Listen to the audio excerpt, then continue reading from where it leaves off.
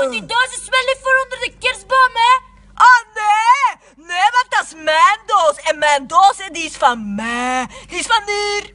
Als je wilt weten wat er in die doos zit, dan moet je naar Kerst in de studio komen. Komt gewoon naar Kerst in de studio, jong. Ja, naar wat Wilderman. Maar eh, wat was die info?